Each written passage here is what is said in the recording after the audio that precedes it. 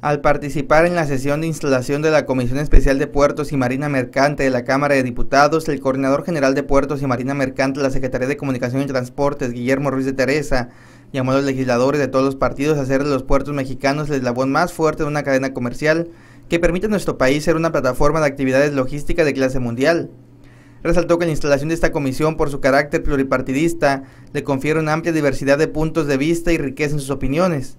Consideró que la sinergia entre el Ejecutivo Federal, el Legislativo y el sector empresarial es fundamental para el óptimo desarrollo portuario, por lo que solicitó a los legisladores mantener una agenda amplia de reuniones permanentemente.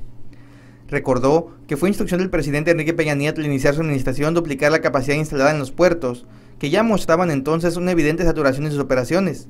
Dijo que en 2012 se tenía una capacidad de alrededor de 280 millones de toneladas de operación y reveló que este año se llegará a 400 millones de toneladas y terminará el sexenio con un poco más de 500.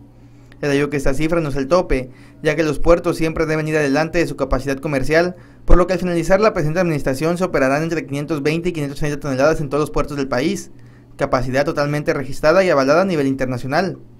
Señaló que en el caso de la Marina Mercante actualmente se tienen 739 barcos y artefactos navales con bandera mexicana que navegan por mares internacionales, el mayor número que se ha tenido en la historia del país, lo que representa un reconocimiento de los inversionistas que tienen y ponen su dinero en fomentar la marina mercante mexicana.